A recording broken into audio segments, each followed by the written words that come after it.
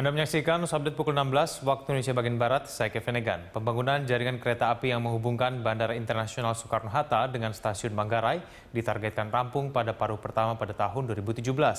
PT Railing selaku operator kereta api bandara berniat menerapkan sistem cashless untuk pembelian tiket kereta. Nantinya calon penumpang kereta Bandara Suta tidak bisa membayar dengan uang tunai, melainkan harus dengan metode pembayaran elektronik yaitu dengan kartu maupun aplikasi yang terpasang di ponsel pintar.